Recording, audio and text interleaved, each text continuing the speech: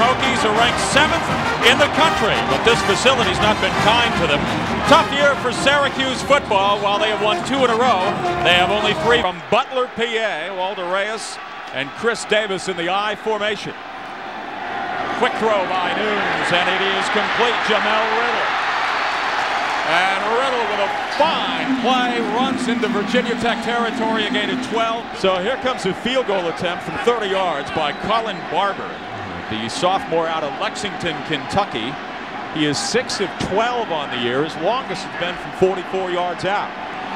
Here is the kick, and it is up, and it is good. So Syracuse on the board first, their first offensive possession, and they lead number seven Virginia Tech. 3-0 as he nails it through. First and 10 from the 40. Randall wants to throw. And out there, and the grab is made. At the 35-yard line is Ernest Wilford brings the football down. The junior out of Richmond, Virginia. Working on Jamil Dumas hits a pickup at 26 yards and a first down for the Hokies. Option coming. Randall in trouble and knocked down.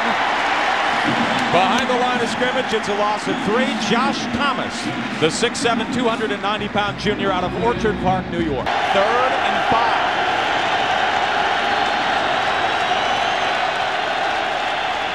Randall. Throwing the football into the end zone. Touchdown, Lee Suggs. A 15-yard strike from Randall to Suggs, and the Hokies are on the board. Mike Schaefer from his end zone and gets it away. High floating spiral. Richard Johnson will take it. And Johnson loses the football. Syracuse has it. The Orangemen coming up with the football on the special teams. Lenny Cusimano finds the football. A 44-yard punt, a one-yard return, and the fumble.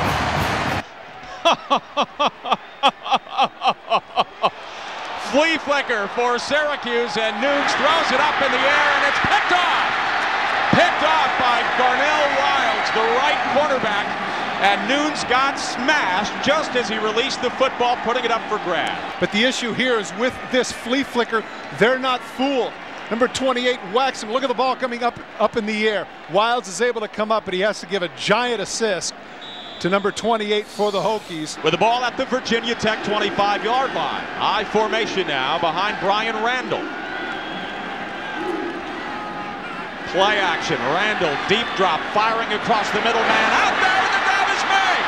Ernest Wilford. It's a foot race. He'll get into the end zone. Touchdown.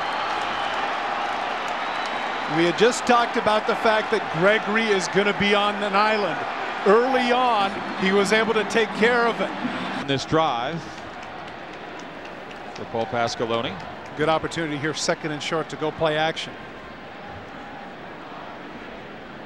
Do the unexpected. Pasqualoni, the 11th winningest coach in the nation. 12th year. He's never had a losing year. 94, 45, and 1. And under a little bit of pressure here, a little bit of heat about this losing Why? season, Why? coming off a 10-win season. One year. So we will see Colin Barber again. He is hit from 30 yards, and this will be a little less than that. It'll be a 26-yard attempt. Here's Barber's kick. It is up, and it is good. So a 26-yard field goal by Colin Barber, matched with his 30-yarder, and Syracuse has six points. And it's Jeff King coming to the near side. Randall with time. Now flushed out of the pocket. He'll fire long into double coverage, and it's intercepted. Picked off by Steve Gregory. So there's a little bit of comfort for Gregory, the freshman out of New York City. 25, who is a very, very good athlete. So Syracuse gets the football back. Second and 17. I formation behind Troy Nunes.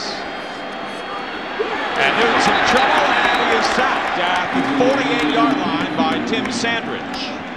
Score is still 14 to 6, and that's the only one that counts. Vinnie Burns is the punter. Jamel Riddle is deep for the Orangemen. Here comes the pressure. He got it blocked! It's Tyree! It's Tyree who gets the block.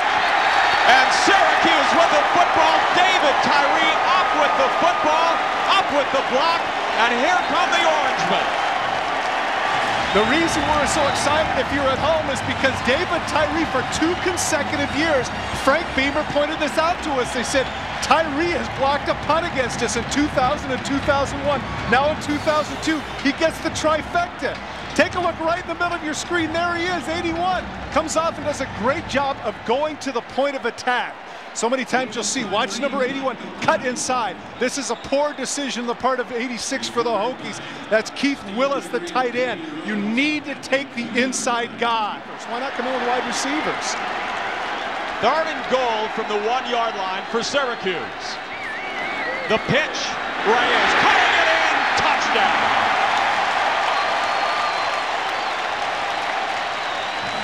So they get the touchdown after the blocked punt. And Syracuse now cutting into that Virginia Tech lead here in the second quarter. Kevin Sampson and Matt Tarullo do an outstanding job on the right side of the line, enabling Reyes to get in the end zone. The idea is to get it. You're always trying to make up that one point. They're going to go with a double tight end set here of Cusimano and Donnelly. And Reyes, along with Chris Davis, are behind the quarterback, Troy Nunes. The two-point conversion on the way. Nunes running the option. And running into Virginia Tech and being spun down at the four-yard line by James Anderson. First and 10 now from the 35-yard line. It's Bryan Randall on the run, and it's almost, picked off at the 35-yard line by the linebacker Rich Scanlon, who comes up with the football. Another Virginia Tech turnover. That's three a very, very poor throw by Randall. He's made so many good ones, but this is awful. He pushes the ball to ease the fullback. And look how far it is behind him. You can actually see the spin of the ball. It's fading a little bit. And watch the ball. Look at the ball. Look at the flip. You see how it's a little bit wobbly in terms of the spiral? Scanlon stays with it and comes up with a pick. Telling him to run because everybody sits right here on the field. They have a better view than the quarterback. A 47-yarder. It's a fake. Nunes rolling in trouble and he goes. Vincent Fuller is there to knock down Nunes. So after the interception, they get nothing out of it. This is a bad decision for this reason. Coming into the game, they had they had yet to make, I believe, it was something like one out of six outside of 40 yards. So once they line up the long kick, you know that's probably not going to happen. Virginia Tech, look, you don't even see people laying out. They're prepared for this. Everybody is covered. And so instead of a missed kick where they might get back to the 30, 35 yard line, now the great job by Virginia Tech's defense being disciplined enough to stay with it. They sack Noon. The result is great field position at midfield, a loss of 17 yards.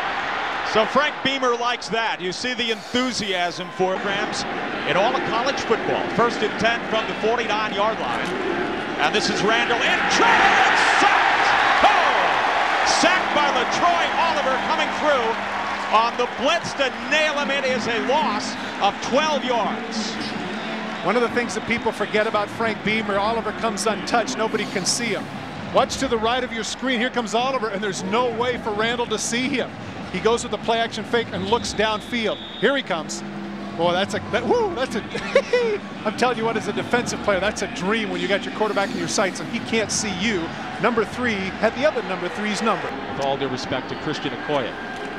Here's Nunes running the option. And too close to Rhodes. Ball is loose. Penalty marker flying at the 37. Virginia Tech has the football. They get the turnover, but now let's see what the penalty is. Billy Hardy up with the football. Well, I would appear the way, where it was thrown, I'm guessing that's got to be holding. Wow, what a break. How about that? Let's go to Reese Davis right now. Reese, what do you got going on? Second and short. Nunes wants to throw. Here comes the pressure. One-handed grab made by Rhodes. Rhodes to the 25. Look out. And knocked out of bounds is Damien Rhodes by Willie Pile. It is a pickup of 23 yards of first down and a minute three left before the end of the half. This is a great call by George DeLeone, the offensive coordinator. They had not done this all day. This is the first screen. You know he's fading back to pass. The pass rush comes. That's a nice one-handed catch by Rhodes, but a better job by the people out front, enabling him to get downfield. Look at that. He wasn't touched until there was a good 20 yards downfield for the 33-yarder. Colin Barber now has hit two. Let's see if he can hit for three field goals in this game, and he misses it. It is wide right. So Syracuse gets nothing out of a fine drive. And for Virginia Tech, a little collective sigh. Easy to second guess Syracuse, but here is the issue. Maybe third and six from the shotgun formation. Randall across the middle, wide open to Sean Witten and put down. Slammed by the tough man, Clifton Smith, the middle linebacker, a gain of three. It'll bring up fourth down. Sean Witten, Witten, pleased to meet you. Here I am, Clifton Smith. That's where running over the middle gets very dangerous, and number nine is waiting on him. Now he turns around. Oh, no, no, no. Oh, man.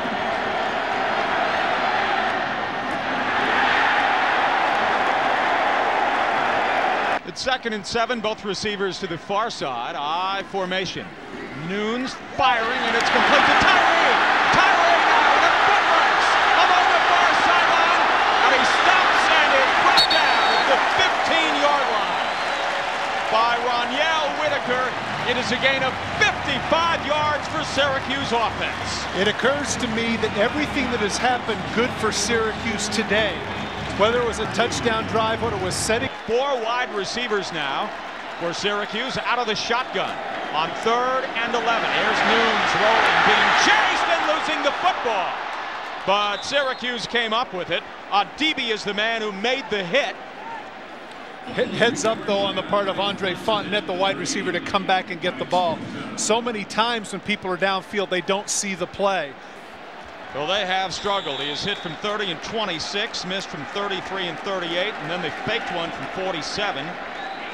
So this will be from 38 yards. Barber on the way. It is up and it is good. So Syracuse has taken the lead. How close was that field goal? Very close, but it is good. Almost overcompensated for that hook. It just went inside the left upright. And every field goal is like Mr. Toad's Wild Ride at, at Disney World. From Hoboken, New Jersey. On first and 10, Randall up top and to go to Joy! Touchdown! Ernest Wilford. Again, it's Wilford, a 34-yard touchdown strike, his second of the afternoon. Is Virginia Tech going to respond accordingly? Obviously they are. Wilford, what a day for him. Four catches, 156 yards, and two touchdowns. Three wideouts now for Syracuse on first and long. Nunes firing downfield, and the catch is made! What a catch by Joe Donnelly, the tight end. He's in Virginia Tech territory. A first down with a 25-yard pickup. The handoff is to Reyes, right side, touchdown Orangeman. His second of the afternoon. Lenny Cusimano, the tight end, number 41, is, does a great job of hooking the outside back. Once Reyes cuts to the outside, there's nothing in front of him but AstroTurf and a lot of cheering fans. That's, That's his right. idiosyncrasy. Before he begins to drive to the hoop. Riddle and Tyree are to the right side on second and five. Play action for Noon. Setting, looking, going long. Man out there is Tyree. And Tyree making the grab. Wow. Tyree with a remarkable catch at the six-yard line for Syracuse. It is a gain of 52 yards. The stop by Ronyell Whitaker. He had one earlier of 55 yards, this one of 52. And to be candid with you, I thought that Whitaker was going to close in plenty of time. Tyree with seven catches, 154 yards. Here is Reyes, right side. Reyes into the end zone. Did he get there? Yes. Touchdown. Syracuse, his third of the afternoon. And the upset is beginning to have more credence. Notice this too, Jeff. Notice that every time they ran for a touchdown, and all three of his touchdown runs, they have gone to the right side of the offensive line. That's Cusimano, Sampson, Tarullo, and Romeo have done a very, very good job of Scampering into the end zone and finding six. Now Colin Barber. The hold and the snap and the kick hits the crossbar and it is no good. And that's huge. Mm. Remember earlier in the season against Temple, they tied the game, or thought they had tied the game with about 50 seconds left. Same thing. Missed the extra point. That's gigantic in terms of seven points. Boy, every down and four. Three wide receivers. Here's Randall. In trouble. And Randall is sacked. And getting no. rid of the football to Lee Suggs. He was able to get away with it. You know what? I'm not sure he was able to do that. It occurred to me now the ball is fumbled. What's the call? Now the side judge is saying over on the other side that the fumble evidently is down. And the Orangemen say they have the football. How are they going to sort this out? They're going to have a discussion. They say the fumble. So it is a fumble, and Syracuse gets the football. Frank Beamer can't believe it, and it's time for Joe Paterno to come in and argue with the refs. but let's give credit to Randall. Randall understands that it's fourth down. It makes no sense for him to take the sack.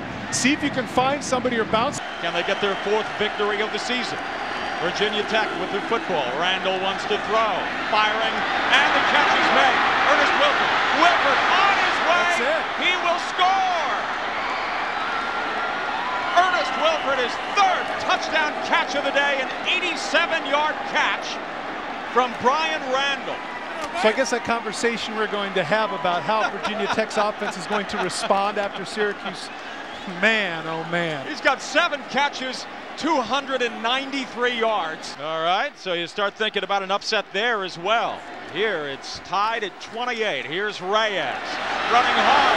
Standing on his feet is Reyes and run out of in Virginia Tech territory by the Nigerian Nightmare, Nathaniel Adibi. It's a 29-yard pickup.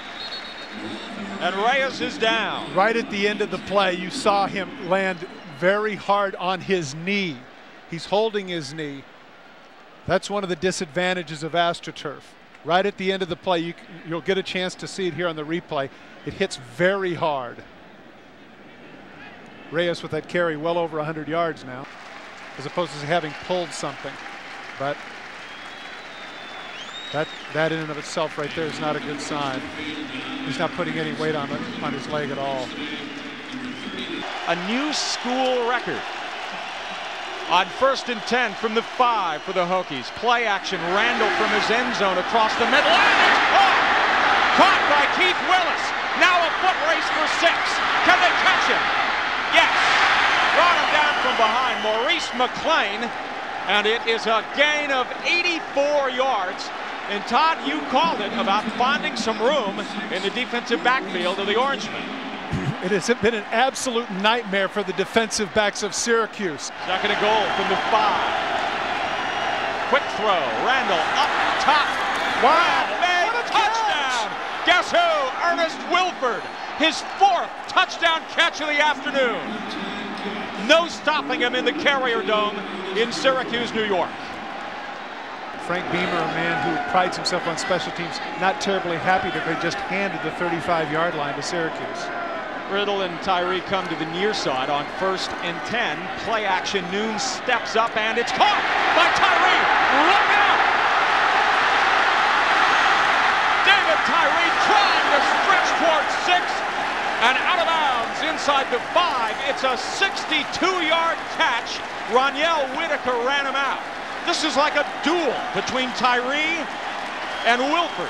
This route has been Noon's 22 of 35, 385 yards. Now you asked earlier where do they miss Reyes? This is certainly a place, but it's not going to matter. Rhodes going to take it in anyway. Damien Rhodes for six. Here I was all set to tell you, you know what, Jeff? It's going to be a problem. Rhodes isn't as strong. Instead, his 4.38 speed gets to the outside.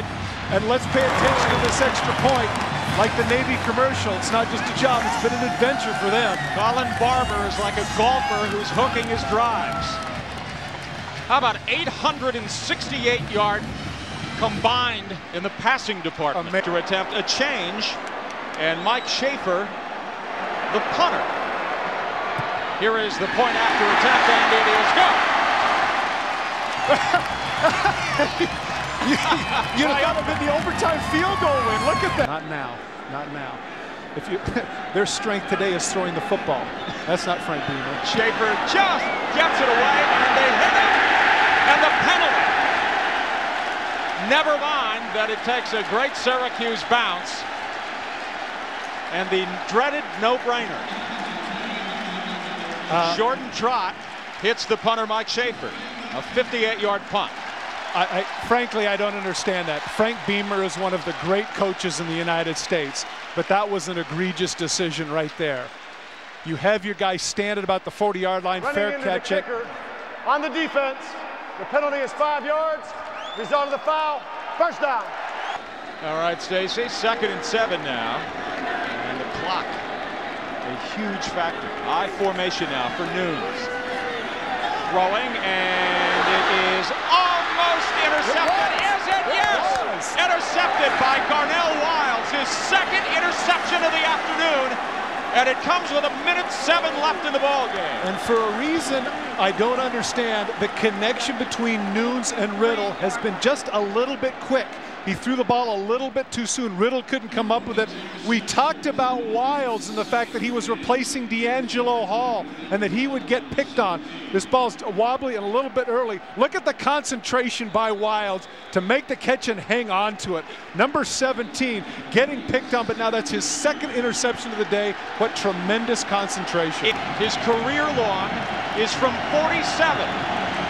This to break the tie and to give number seven Virginia Tech a three-point lead and maybe the game.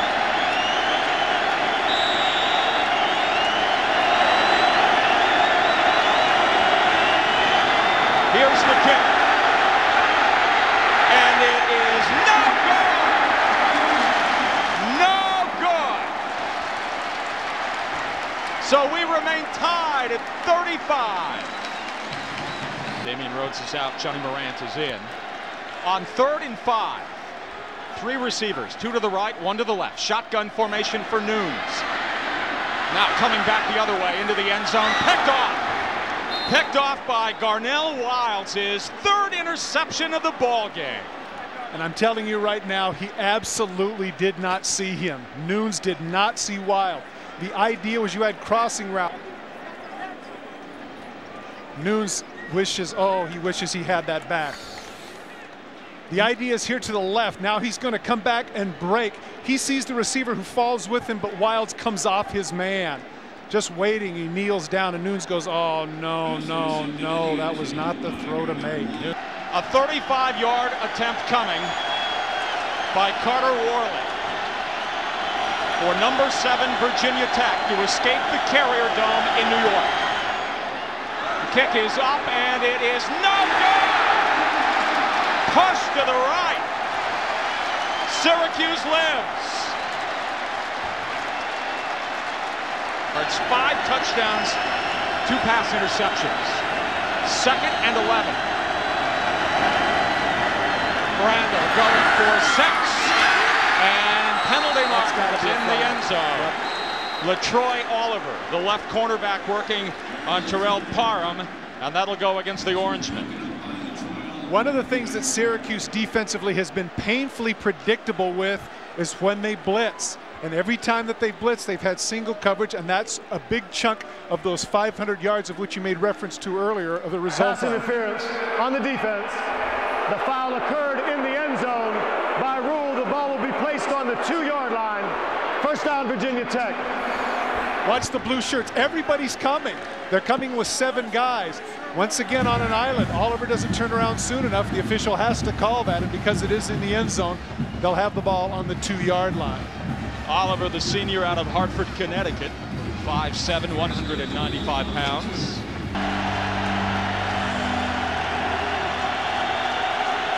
Two tight ends. Full backfield. Third and goal from the two. Option. Great call. Randall keeps the football. Touchdown, Virginia Tech. So Bryan Randall has done it in the air this afternoon and does it on the ground in the second overtime. We called it on second down in anticipation that they might do it then. Now that's a great call on third down. They have not optioned for the longest time. They need some points. They've got fourth and three. They can get the first down without getting the six. Nunes looking into the end zone. Touchdown! Joe Donnelly, the tight end, makes the grab. Remember, Donnelly was the one earlier that had that fabulous catch on the corner out where he fell flat on his back. The throw by Nunes is a dart, but it's actually a little bit behind him. Number 40 makes a terrific catch, reaching back on fourth down to come up with a touchdown. Mike Schaefer to tie up the ball game. The kick is up and it is good. So the overtime continues. Number seven, Virginia Tech and Syracuse all knotted up at 42. Your decision making when it comes to what you want to do offensively. I don't think so. Yeah, the give is to Damien Rhodes, left side. He has room in front of him. Watch Damien Rhodes. Touchdown, Syracuse. The freshman with a great block from Kevin Sampson opened the door for six. We just talked about the youngster. If there's going to be a game that's going to set him apart, this could be it, and that run could be it. It looks, for all intents and purposes, early on like it's a busted play. He fakes the pitch to him, and then he comes back against the grain. That's a play that they have not run all day long. Virginia Tech completely split to the right side. Rhodes and Davis in the I formation. Here comes the option and the pitch. Rhodes wants to throw, now coming back the other way. He has room, taking it to the outside, a split to the end zone. Got it! He got just enough of a block from his quarterback to take it in.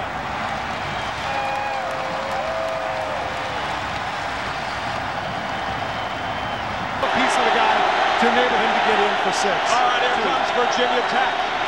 On first and ten, pumps once, now going up top is Randall, and it is intercepted. That's your ball game. Syracuse has upset number seven Virginia Tech in three overtimes.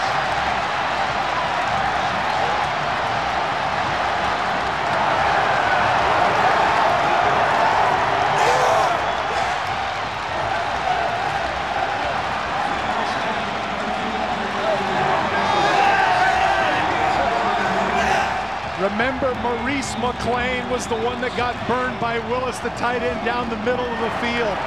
This seems to be one of those days, Jeff, where guys make mistakes and then they're able to atone for their mistakes later on. The ball is a little bit wobbly. They finally have safety help. McLean is over on the double team. He leaps. He denies Wilford the touchdown, hangs on and realizes it's embedded in his chest that Syracuse has its precious fourth win of the season.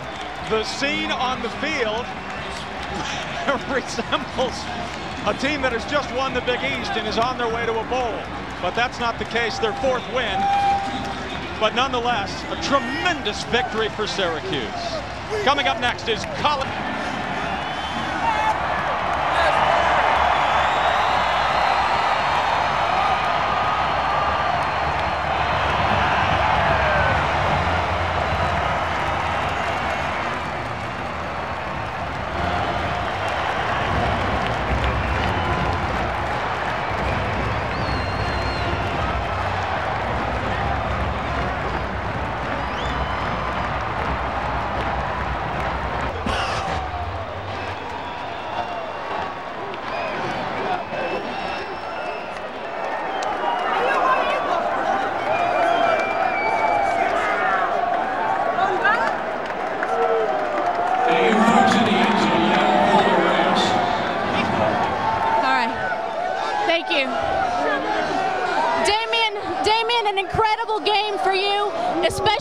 Last, the third overtime.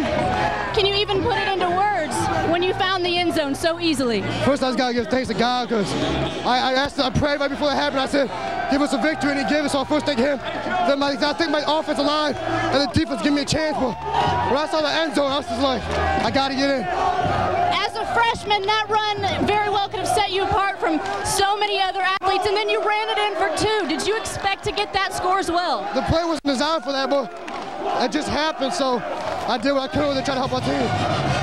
And most importantly, your boy Walter went out today. Talk about what he means to this team. Talk about Walter as he stands here beside you. It wasn't, If it wasn't for Walter, we would have been. In, a lot of us wouldn't be in this game. Walter took me under my wing when I got here, and I give a lot of credit to him because if it wasn't for him, I don't know how good I'd be doing without him. Walter's the best back in the squad, baby. All right, Walter, I hope you get feeling better soon.